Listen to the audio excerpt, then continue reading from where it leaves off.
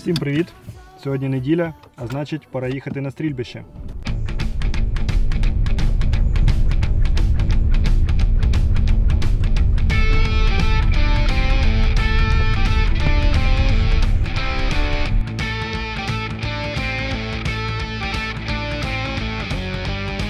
Я вже тричі намагався зняти це відео. Перше відео я запоров, воно було дуже нудне. Друге відео я запоров, тому що я заряджав, споряджав магазини, досилав патрони у себе в квартирі. Це теж не дуже добре. Ютуб такого не любить. Тому сьогодні третя спроба. Сподіваюсь, що вона буде краща.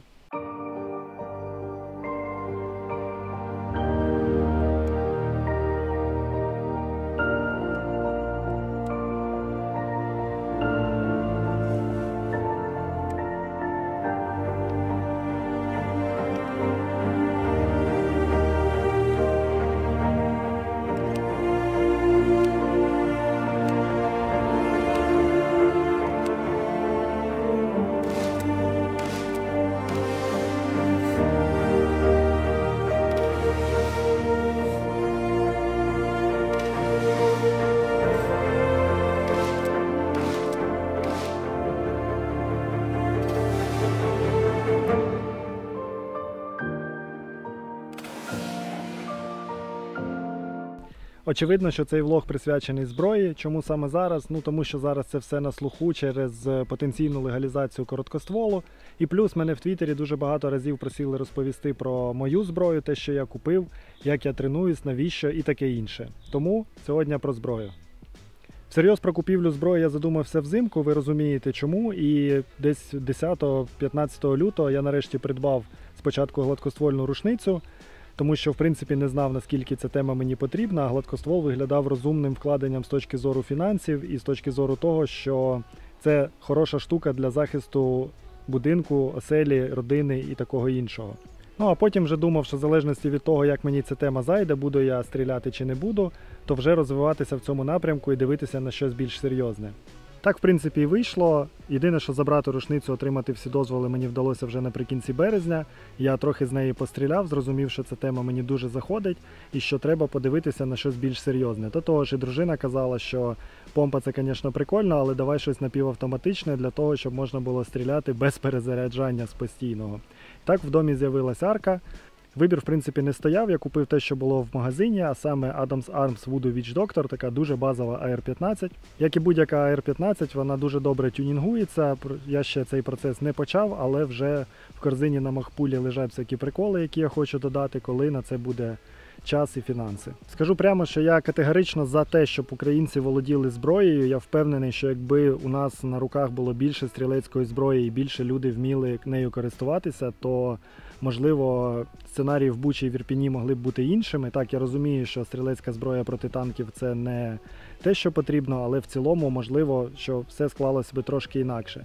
В будь-якому разі, з таким сусідом ми маємо бути готовими до будь-яких сценаріїв. Ми маємо готуватись, тренуватись і, окрім зброї, безпосередньо мати вдома ще деякий екіп, магазини, набої.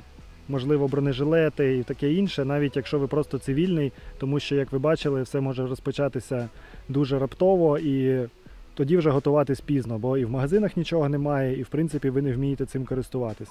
Треба розуміти, що регулярні тренування це задоволення не з дешевих, і рубіж коштує грошей, інструктор коштує грошей, особливо грошей коштують набої.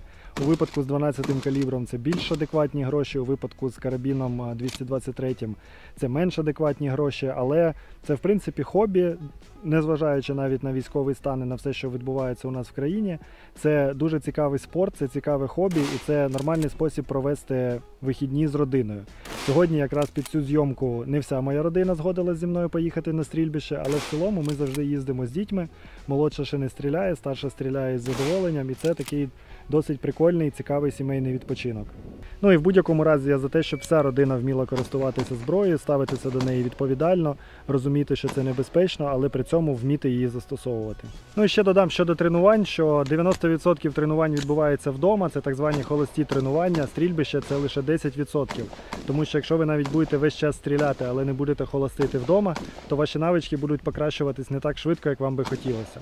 Щодо короткостволу, я, мабуть, неправильний блогер, тому що в мене немає 100% думки, і я не впевнений на 100% чи варто легалізувати короткоствол, чи він мені потрібен, чи він не потрібен, чи він потрібен в цілому, чи він не потрібен в цілому. Тут є and contras, і у мене, як я вже сказав, немає впевненості щодо того, добре це чи погано. Я особисто, якщо все ж таки короткоствол легалізують із задоволенням, звичайно, куплю собі ще таку одиницю зброї, тому що це теж цікаво. Навряд чи я буду весь час при собі її тримати і весь час мати її з собою на випадок самозахисту, тому що ну, це спірне питання щодо самозахисту з вогнепальною зброєю. До того ж, з тими законами про самозахист, які у нас зараз є, застосування вогнепальної зброї має дуже обмежені випадки, коли вас при цьому не буде засуджено за вбивство. Якщо ви мене спитаєте, що мені подобається більше, помпа 12-го калібру чи R15, ну це буде все одно, що спитати когось з дітей я більше люблю. Тому що помпа дуже класна зброя, дуже цікава. Стріляти з 12-го калібру, як кажуть американці, so much fun. І ну, це дуже цікавий і спорт, і зброя для самозахисту, для захисту оселі і таке інше. Єдине, що дуже голосна. Щодо R15, то це вже така одиниця, яка більше має призначення військове, з нею можна йти в бойові дії, з нею теж можна. Її теж можна застосовувати для самозахисту з певними обмеженнями, бо треба розуміти, що набій летить дуже далеко. Але якщо говорити про спортивну стрільбу, то цікаво і те, і інше. І я з задоволенням суміщаю ці тренування і кожного разу стріляю і з помпи, і з е, карабіну. Наостанок скажу, що я всім рекомендую спробувати поїхати в тир чи на стрільбище. Стрільбища працюють, тири працюють, зброю можна брати в оренду. Пробуйте, якщо вам сподобається, то задумайтесь про те, щоб придбати собі одиницю вогнепальної зброї, бути відповідальним власником, тренуватись і у випадку чого вміти її застосовувати. Це дуже цікаво і я думаю, що вам обов'язково сподобається. На цьому все. Бувайте, продовжимо колись про зброю іншим разом.